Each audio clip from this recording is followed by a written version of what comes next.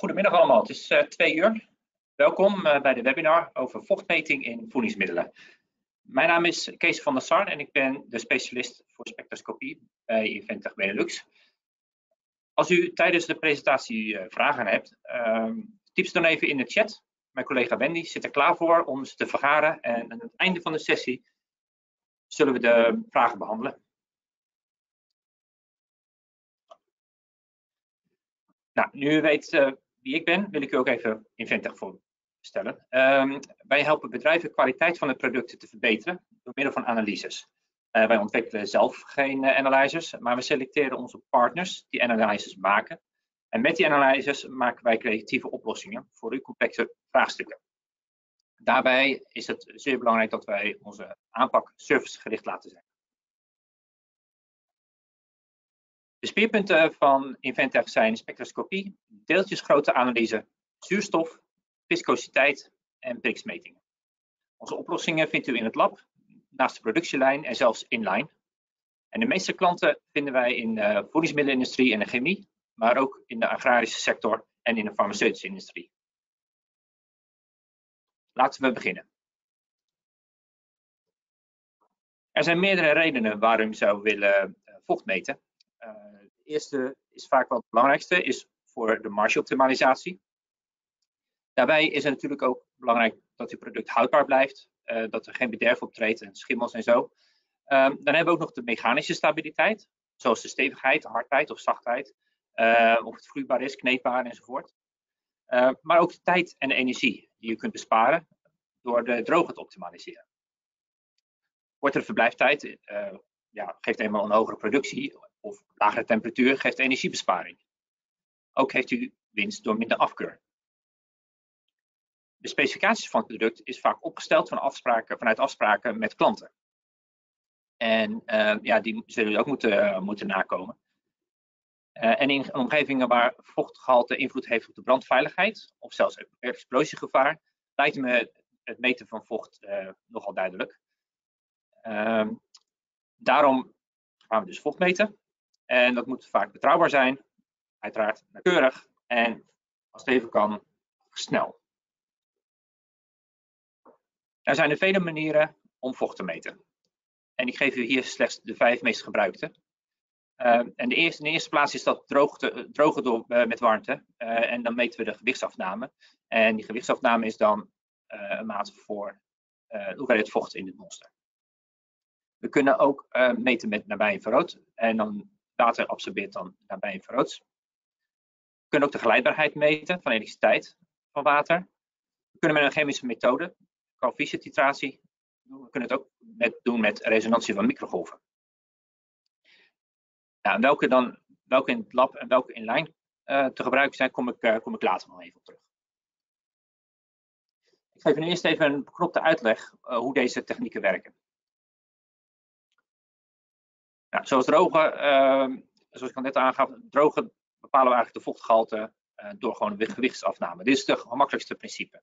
We verdampen gewoon al het water. Uh, we, hebben, we, hebben een, we weten hoeveel we hebben ingewogen. Uh, en aan het eind meten we het gewicht nog een keer. Het verschil in gewicht uh, geeft een percentage aan. Kan, met, daarmee kunnen we het percentage van vocht berekenen. Deze is wel heel vaak gebruikt, zo niet de meest gebruikte techniek. En we ook nog het meten met nabijinfrarood en die is wat ingewikkelder. Uh, nabijinfrarood ligt, ja, dat kent grotere golflengtes dan het zichtbaar licht, ruwweg tussen de 700 en 2500 nanometer. En in dit, in dit gebied um, absorbeert water bij een aantal golflengtes. Bijvoorbeeld, uh, een daarvan is 1400 nanometer. Volgens de wet van Lambert-Beer is de absorptie van licht evenredig met de concentratie van water. En in het spectrum links van de dia ziet u, een aantal monsters met verschillende vochtpercentages. Een golflengte waar water absorbeert en uh, die, die, kiezen we dan om, om te meten. En we kiezen een golflengte waar water niet absorbeert. En zo kunnen we de uh, verschil van absorptie uh, berekenen. En die nette absorptie is dan de maat voor water, voor de vochtigheid. Echter, in het nabij gebied zijn er vele absorptiepieken, ook door andere stoffen zoals vetten en, en, uh, en eiwitten. En die pieken die overlappen elkaar. En overlappen ook het vocht, de vochtpiek. Maar ook kunnen ze de, achtergrond, het, de achtergrondabsorptie beïnvloeden. Nou, deze beïnvloeding noemen we matrixgevoeligheid en bij neer is die behoorlijk. Nou, omdat water goed elektrisch geleidt, kunnen we ook de geleidbaarheid tussen twee elektrodes meten. Uh, en die elektrodes zijn dan in uw product gestoken. Uh, als we het hebben over geleidbaarheid, uh, of die geleidbaarheid is dan evenredig met, met vochtgehalte. En bij capacitief meten gebruik je het principe van de condensator. Water tussen de platen van die condensator, die verandert dan de waarde van de condensator. En dat meten we en dat is dan uh, de maat voor de vochtigheid. Dit principe wordt heel veel gebruikt uh, bij pleisterwerken in de bouw of met de handel in haardhout bijvoorbeeld. Ja, de koëfficiënttitratie is toch wel scheikunde in de, in de reinste vorm. De watermoleculen reageren met een jodiumoplossing. En die jodiumoplossing die, die voegen wij langzaam gecontroleerd toe. Op, moment, op, een gegeven moment is er geen water meer. En, en wordt er dus geen jodium meer weggereageerd en komt de jodium dus vrij in de oplossing. dat punt detecteren we dan en kijken dan hoeveel jodium we hebben gebruikt en berekenen daarmee het vochtgehalte in het monster. Met, met microgolfresonantie, ja, dat, dat principe dat werkt eigenlijk als uw uh, thuis. Alleen hier gebruiken we een veel lager vermogen. Um, wij hebben hier over milliwatts. En bij thuis is een magnetron bijna een kilowatt. In dit geval is het ook een niet-destructieve um, uh, manier van, um, ja, niet destructief, omdat eigenlijk niets verandert aan uw, uh, aan uw, aan uw monster. Uh, het wordt niet warm, het droogt niet uit. Ehm, we gebruiken 2,4 gigahertz en dat is een specifieke frequentie voor de watermoleculen om te gaan resoneren. Dat resoneren dat kost energie en de afname van, de, van die energie die meten we en dat is dus een maat voor de vochtigheid. Hoe, hoe verhouden zich deze Big Five ten opzichte van elkaar? Ik heb hier in een, in een grafiek de snelheid van meten tegenover de nauwkeurigheid uitgezet. En u ziet hier dat droge en een koëfficiënttitratie het langst duurt. De andere drie zijn veel sneller. Wat jullie ook ziet is dat de snelheid niet per se te kosten hoeft te gaan van de nauwkeurigheid. Maar kort gezegd komt het hierop neer, koëfficiënttitratie is de meest nauwkeurige en de geleidbaarheid is de meest onnauwkeurige. Droog is de traagst en de microgolfresonantie is de snelst. Maar er zijn nog meer verschillen. Die heb ik in deze uh, tabel uh, neergezet. En de regel voor destructiviteit geeft gelijk al aan of het inline of, uh, of niet toepasbaar is. De kosten voor het aanschaf en gebruik is natuurlijk ook belangrijk. Bijvoorbeeld bij koëfficiënttitratie heeft u wat spullen nodig, glaswekken of een, zelfs een titratiestation, maar ook de chemicaliën en een chemisch analist. Maar die kosten van de chemicaliën en de arbeidsuren kunnen behoorlijk oplopen. En we denken ook dat chemicaliën een veiligheidsissue kunnen uh, veroorzaken. Verder, um, ja, hoe betrouwbaar de analyse is, die heb ik hier uitgedrukt in de matrixafhankelijkheid. Daarbij kent iedere techniek ook nog een bepaald bereik. Bij coëfficiënttitratie ja, is het toch vaak gewoon een kwestie van verdunnen. Dus dan kun je, kun je het heel ver oprekken. En drogen, ja, als het heel nat is, dan kies je gewoon voor langere tijd drogen. Glijdbaarheid is uh, niet, zo voelig, niet zo gevoelig, dus daardoor is het bereik ook wat uh, beperkt. Voor nabij infrarood hebben we typisch te maken met zo'n 1 tot 80 procent. En microgolfresonantie dus zo tussen de 0,1 en de 20 procent. In de praktijk blijkt de glijdbaarheid of de capacitatieve meting niet betrouwbaar genoeg te zijn. En ja, daarom behandel ik hem maar ook vandaag niet meer. Nou, nu we weten welke opties uh, we hebben en welke, uh, welke het beste past, uh, heb ik ook nog wel wat andere aandachtspunten. Waar gaan we meten? Dat bedoel ik niet alleen fysiek, ehm, bijvoorbeeld lab of line of inline, maar daar kom ik later op terug, maar ook waar in het proces. Meten bij de aanvoer van uw uh, grondstoffen, na de droger, bij verpakken. Ehm, maar ook heeft het te maken met deeltjes. En hoe groot zijn die dan? En daar ga ik dan later wel even op in. Um, is het, is homogeen? Hè? Is uw monsternaam wel representatief en is uw meting representatief? Uh, welke kleur heeft uw monster? Bijvoorbeeld zwart en daarbij infrarood zijn geen goede combinatie. En hoe ziet het er chemisch uit? metalen of ehm, als uw eh, product kristallijn water heeft, dan is een microgolfresonantie niet zo'n goed, goede keuze. Nou, hoe snel het vocht vochtgehalte verandert in de tijd is ook belangrijk. Als het altijd hetzelfde is, hoeft u eigenlijk natuurlijk helemaal niet te meten. Of in ieder geval niet heel erg vaak. En kunt, mag de meting ook heel lang duren. Uh, maar ook over welk vochtbereik verandert uw proces.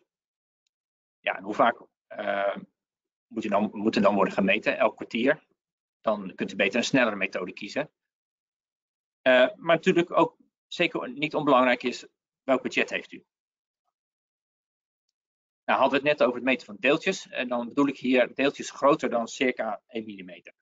De uitdaging in de voeding is dat eigenlijk vrijwel dat je altijd te maken hebt met deeltjes. Uh, en met deeltjes heeft u nogal te maken met, uh, of althans te maken, lichte imhomogeniteit op de loer. Uh, ja, kijkt u maar naar een, eh, naar een ja, maiskorrel of zo, of, een, frietje. Ehm, het ene deeltje kan, kan heel anders zijn dan het andere in heel veel aspecten, zoals de grootte ehm, en de vorm ligt natuurlijk voor de hand, maar ook chemisch. En in, niet in het laatste geval ook het vochtgehalte kan verschillen. En dan we hebben we het niet over de deeltjes onderling alleen, maar ook in het deeltje zelf. Tijdens, want tijdens een droog ontstaat er een vochtprofiel, een vochtprofiel over de doorsnede van, um, van het deeltje. Um, en als u dan denkt, ach, diffusie lost dat toch wel op, dan vergist u zich. Vele studies uh, tonen aan dat een massatransport erg langzaam kan gaan. En dat brengt ons in problemen wanneer we metingen doen. Um, we laten even het belangrijkste van alles weg, de monsternamen. Immers, hoe weet u dat uw monster representatief is? Maar daar kom ik later op terug. Stel je voor, u wil metingen doen waarbij we alleen de, de buitenkant van het deeltje zien. Bijvoorbeeld bij NER, dat is een bekend probleem. Um, ik had net al, um, haal ik even de frieten aan als voorbeeld, maar ook knekkenbreud met een topping. Ja, nabij een vroot heeft dan maar een beperkte indringdiepte. En dan meet u alleen maar het buitenkant van het deeltje. Dus bij de friet alleen maar het vetgehalte en bij een koekje of een knekbreud meet u alleen de topping. Um, met vochtprofiel in de achterhoofd betekent dat dit geen representatieve meting uh, is. En ja, was, het vochtprofiel altijd hetzelfde? Ja, dan komt het wel goed met het kalibreren. Immers dan hebben we gewoon te maken met een, uh, met een, uh, met een afwijking. een lineaire of een constante. En dan, ja, dan, dan dat komt wel goed met, als, u, als u maar een representatief referentiemethode heeft. Uh, maar helaas, een profiel is vaak niet hetzelfde. En, en vaak is het ook geen perfecte bol. En dus is ook het vochtprofiel anders over de verschillende doorsneden van het deeltje. De enige manier om dat op te lossen is, is uw product te malen. En hier hebben we dan te maken met de wet van behoud van ellende. Tijdens het malen verliest u een hoeveelheid vocht. En dat is ongecontroleerd. En u weet dus niet precies hoeveel vocht u daar verliest. En daarmee is uw monster dan gelijk al niet meer representatief voor uw product. Nou, microgolfresonantie kent deze problemen eigenlijk niet. Um, niet alleen is de indringdiepte groter, maar ook het meetoppervlakte is veel groter. Dus u meet eigenlijk gewoon veel meer van uw product. Nou, een groot voordeel daarbij is dat het ook heel specifiek is voor water. En u heeft dus geen last van overlappende absorpties, zoals bij de nabije infrarood. Maar door de grotere indringdiepte hebben we ook weer een nieuw probleem. En dat is de verschil in dichtheid van uw monster. Als dat namelijk uh, uit deeltjes bestaat, dan kan die pakking van die deeltjes dichter zijn. En als dat zo is, dan is de ook hoeveelheid watermoleculen groter op die sensor. En dus meet u eigenlijk een grotere golf, uh, een groter vochtgehalte. Ja, dat moeten we dus compenseren. We moeten dus compenseren voor dichtheidsverschillen. Nou, de analyzers van Teus, die, zoals wij die, uh, die kunnen aanbieden, die hebben een gepatenteerde methode om tegelijkertijd vocht en dichtheid te meten. En hiermee wordt dus uw meting op vocht uh, gecorrigeerd voor eventuele dichtheidsverschillen. En daarmee ontstaat er een veel grotere meetnauwkeurigheid. Nou is de microgolfresonantie nog wel afhankelijk van de temperatuur van uw monster. Um, ja, hoe hoger de temperatuur van het monster, hoe makkelijker de watermoleculen kunnen resoneren. En nou ja, die temperatuurcorrectie die is eigenlijk dan belangrijk, zo'n bij meer dan 5 graden Celsius. En die compensatie kunnen we gewoon meekalibreren. software die berekent dan de coëfficiënten. Um, had ik het net ook even over elektrisch geleidende stoffen. Ja, u weet zelf ook wel, een, uh, theelepel in uw uh, theeglas en dat in de magneton te zetten, dat is niet handig. En dat geldt eigenlijk ook met deze techniek. Daarbij komt ook nog dat uh, microgolven uh, alleen maar werken op vrije watermoleculen, dus gebonden water wordt hier niet gemeten. Nou ja, we hebben een, een, beperkte uh, dynamisch bereik, als dat vergelijken met nabij infrarood. Zo, zo, tot zo'n 20%, maar vaak is dat bij voedingsmiddelen eigenlijk geen issue. En hiermee presenteert hij zich eigenlijk best wel als een, als een uh, aantrekkelijke optie. Nou, wat uw keuze ook is, e-line of uh, en alleen neer of microgolven, beide zijn indirect en moeten dus worden gecalibreerd. En voor de calibratie hebben we nauwkeurige en een betrouwbare referentiemethode nodig. Want hoe groter de spreiding op de referentiemethode, hoe onnauwkeuriger uw, uh, uw meting is. Um, goed te weten dat u, als u uh, in lijn wil meten, dat u alleen maar nabij infrarood of een microgolf kan gebruiken. Immers als u de tabel nog even voorhaalt, uh, de andere drie zijn destructieve methodes. Ja, dat lukt natuurlijk niet in lijn. Um,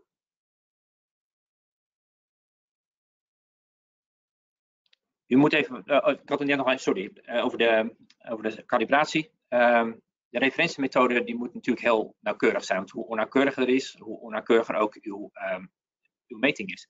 En per definitie is het zo dat de meting op een nabij infrarood of een microgolf nooit nauwkeuriger kan zijn dan de referentiemethode. Dus het is, het is wel degelijk belangrijk om daar um, op te investeren.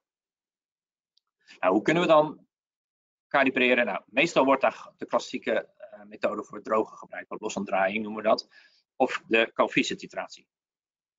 En daar hebben we nog wel wat aandachtspunten en uh, beperkingen. Uh, en uh, ook belangrijk hier is dat er geen verandering van het vochtgehalte plaatsvindt tussen de mosselnamen en de vochtbepaling. Dat is vaak een heel onderschat probleem. Nou, even, even terug even op het droogheid, dus losomdraaiing. Dat is, nog, dat is de goedkoopste methode.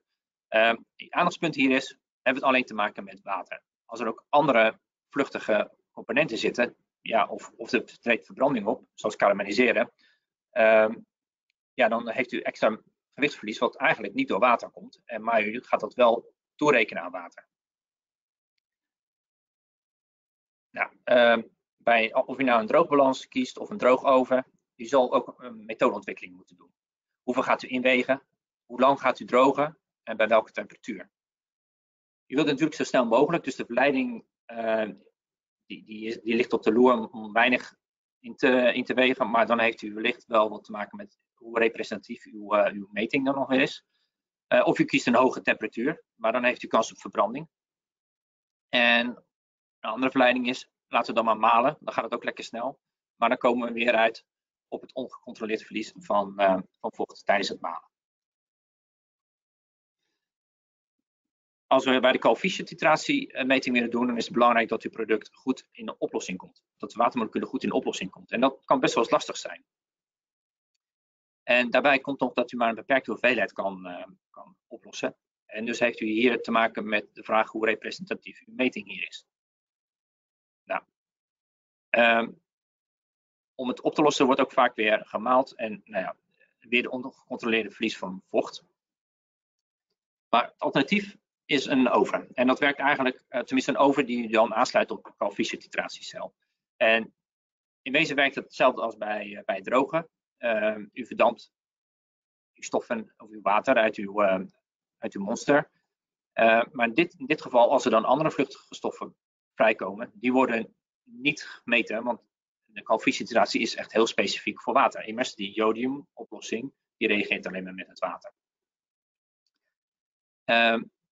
Uiteraard moeten we wel oppassen op, uh, op verbranding. Want ja, dan komt er wel water vrij die eigenlijk er niet van origine in zit. En hier ligt ook de verleiding weer op de loer om, uh, om uw monster te malen. Nou, we hebben nu vele zaken besproken.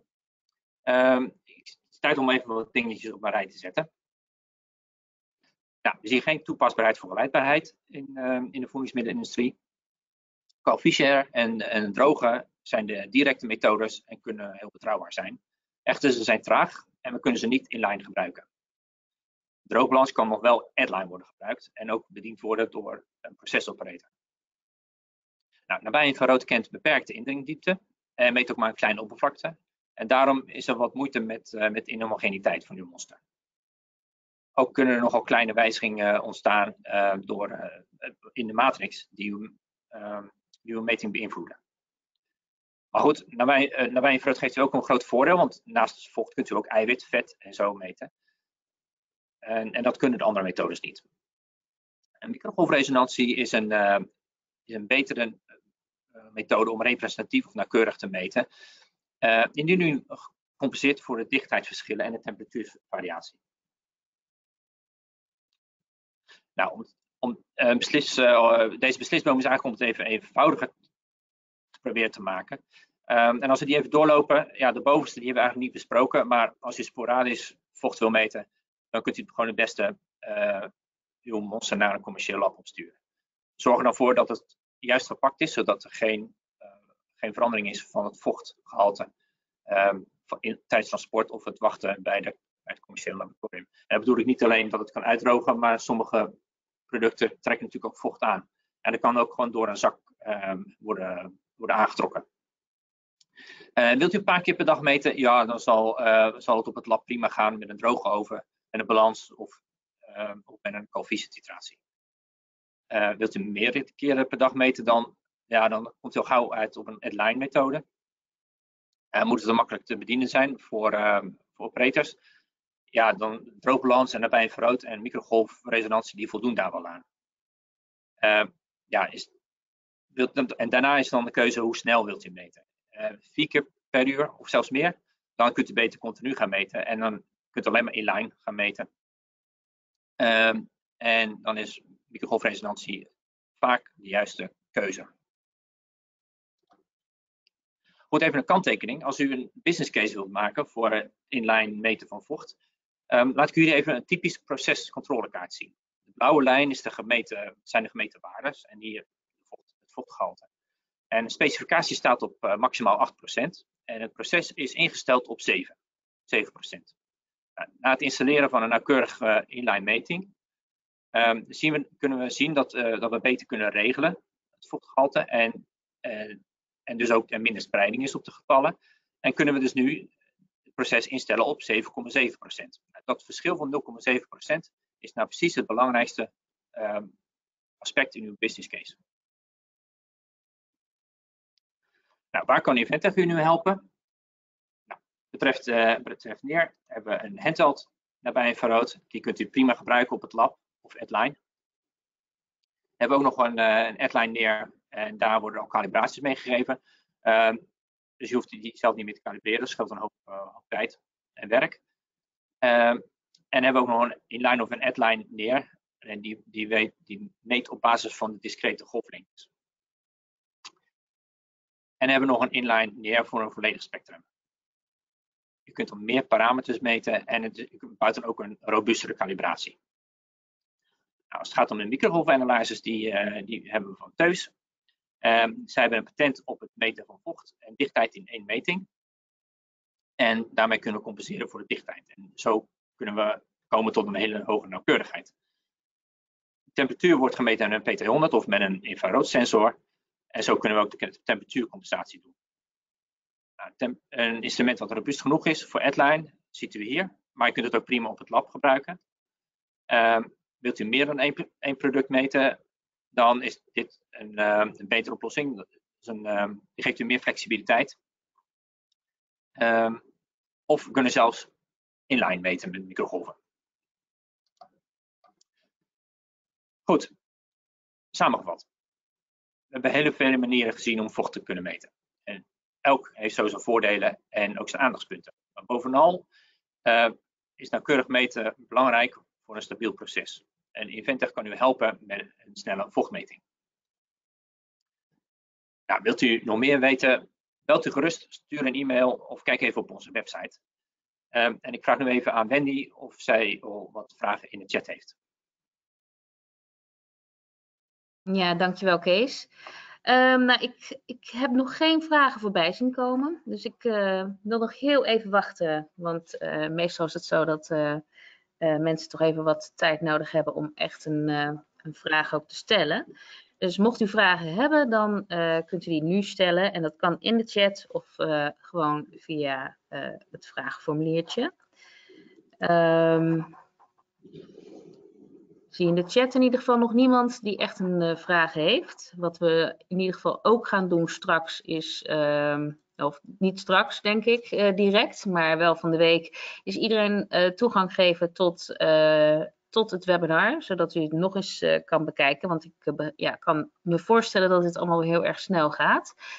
En daarnaast ehm, ja, mocht u natuurlijk, kunt u natuurlijk altijd Kees ook even specifieke vragen stellen. En dat kan gewoon via info.inventig.nl of uh, u kunt uh, zelf even contact op, uh, opnemen met Kees op zijn privé-e-mail. Dat is van de sar.inventech.nl. Dat is ook altijd mogelijk. Maar tot op heden nog geen vragen, Kees. Um, okay. Dus ik denk dat je heel erg... duidelijk was. Ja. ja.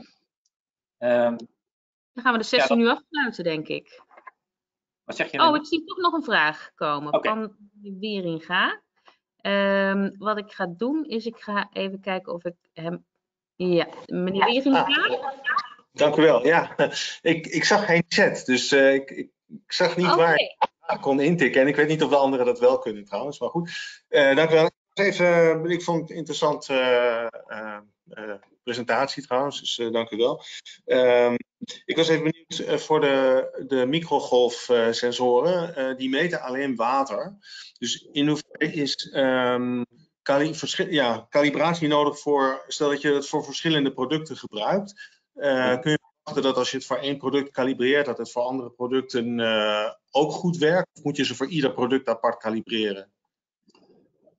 dat ligt een beetje aan wat, wat de verschillen zijn van die producten. Kijk, als we, als we te maken hebben met uh, aan de ene kant mais en aan de andere kant uh, macaroni, ja, dat, die verschillen zijn veel, veel te groot en dat betekent dat daar voor elk een andere kalibratie moet worden. Okay. Als je het hebt over een, een, snoepje met verschillende smaken, ja, dat kan prima op één kalibratie. Ja, prima. Oké, okay, dat geeft een beetje een idee. Ja, dank u wel. Oké. Okay. Ja, bedankt meneer Wieringa.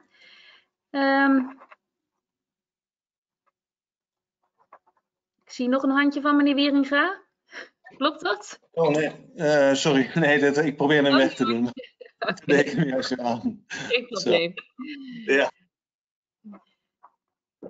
Nee, ik denk dat, uh, dat, dat dit ze waren, Kees. En mochten er verder nog vragen zijn, dan uh, ontvang jij die gewoon in je mailbox, denk ik. Ja, dus ik ga de chat nu afsluiten en wens ik u allemaal een heel fijne dag en alvast een goed paasweekend. Dank u wel voor de aandacht. Tot ziens.